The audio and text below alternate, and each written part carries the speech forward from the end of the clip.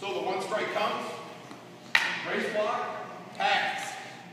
The stick is up just in case he decides to punch over the top or if he pulled a knife. I can defend now. I'm here. Take this stick against my body. If I move this direction just a little bit, it gives me power to hit this hand as well while I'm doing the disarm. Notice that I'm not pulling this, I'm blocking it. Then I pull. Watch your toes. Watch your toes. The stick will pinch your toes to the floor. It'll make it hot. Okay, so the one strike comes. Okay? Can you do that? Let's- Oh, let's see. Come on, let's